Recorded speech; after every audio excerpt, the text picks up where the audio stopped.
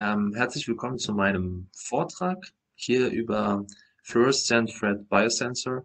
Äh, mein Name ist Christian ähm, und vielleicht merkt ihr es schon auch unten am Titel so ein bisschen. Ich habe äh, ja, das in Englisch versucht zu benutzen ähm, und ich werde den Vortrag jetzt auch auf Englisch halten. Um, yeah, that's why I will switch now to English and yeah, let's start.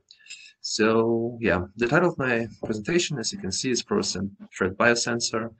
And I will first give you an idea of the overview of my presentation um, before we go into details and into the topics.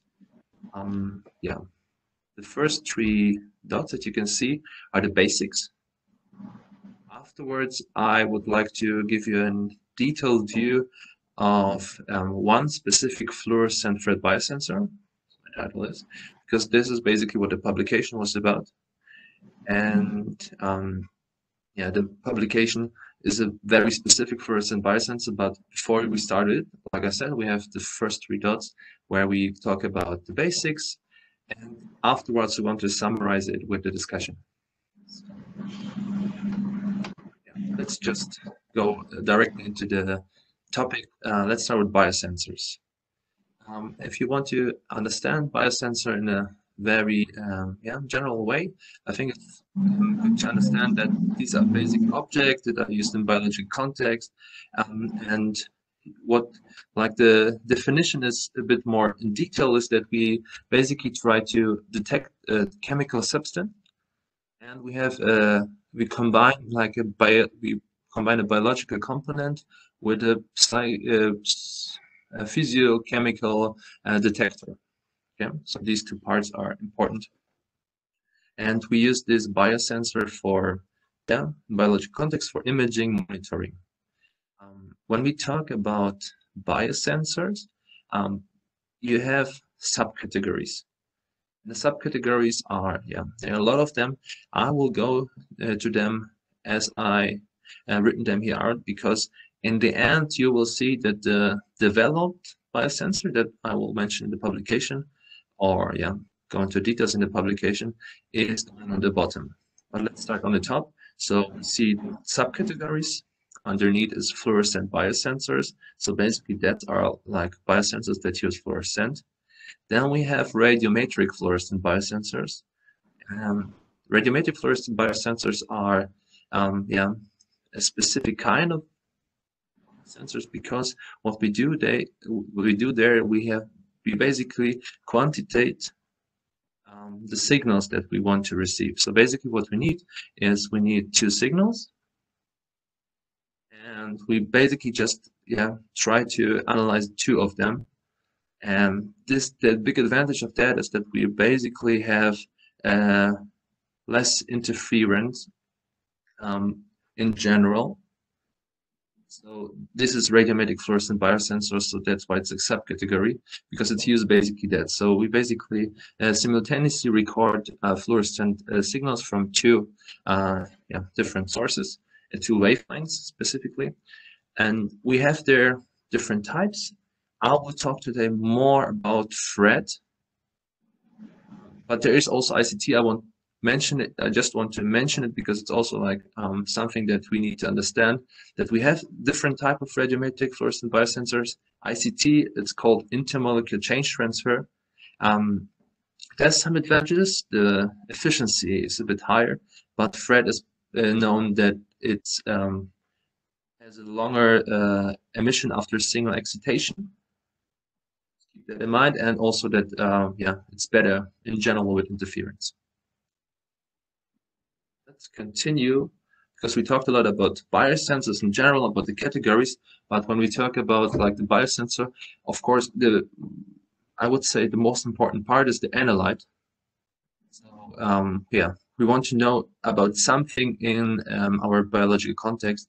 And what you can see here on the figure zero, um, yeah, I want to really uh, put your eyes on the scissor, the green scissor called furin here um, because here the analyte is furin.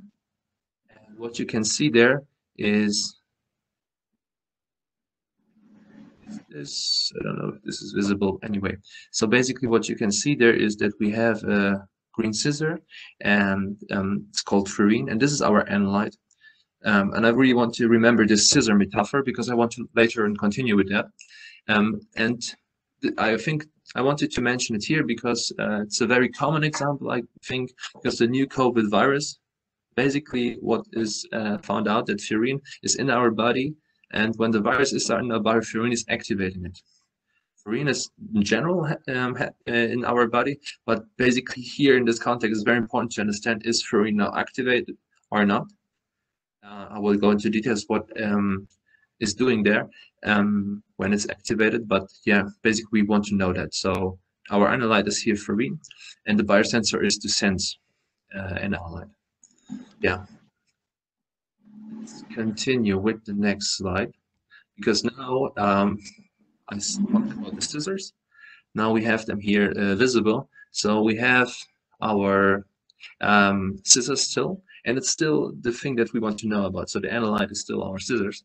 But what came, came when we talk about FRET, our um, biosensor, it's important to understand what yeah the phenomenon or um, the methodology is, how we use it.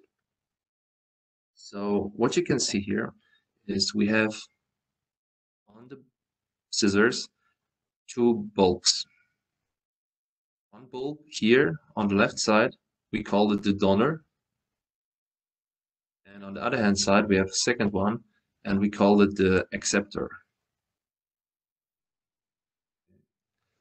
And now what you see is that uh, when both of them are close together, then the acceptor is giving us a signal. When they are far, so this distance is higher, then the donor is giving us a signal. And this is what FRET is doing. Is FRET? FRET is an energy transfer. See, obviously you can see the title um, of this slide.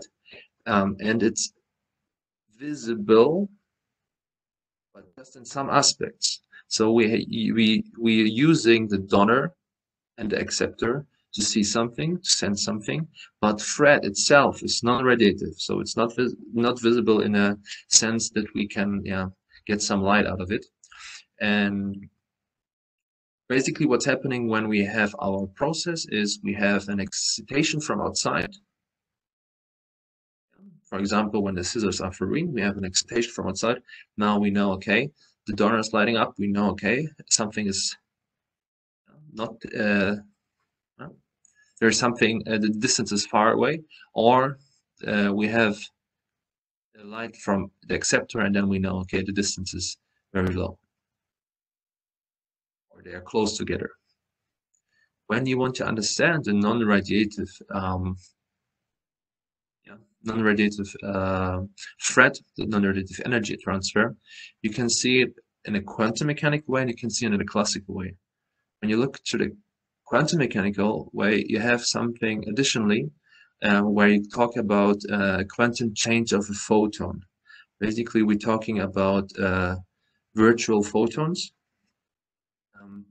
I want to give you here the classical idea more, but just to give in um, yeah additional information. What is the quantum mechanical way and how it's differences? Just to mention it, yeah, just now. But yeah, like I said, classical way now. So when we talk about the classical way, we talk about dipole-dipole interaction. Um, dipole is basically a molecule or yeah, this this example and later on it's a molecule and it's basically has a center of negative charge and the center of the positive charge on different places. Because of that we have a um, yeah we can call it just a dipole and when there is a different um, center for the charges you can imagine that when they move and this is what happening in a dipole, they can oscillate, and basically sometimes we get, um, yeah, um, yeah, we get an interaction in there. And especially in this example, when you have dipole dipole interaction, uh, to understand yeah, how uh, FRET is working, we can see that as uh, the donor is oscillating. Like you can imagine the Hertzian um, electrical dipole is oscillating, and the energy, as they are so close together, is yeah transferred to the acceptor, really by um, yeah, by uh, just because it's transferring it um, the oscillating uh, movement.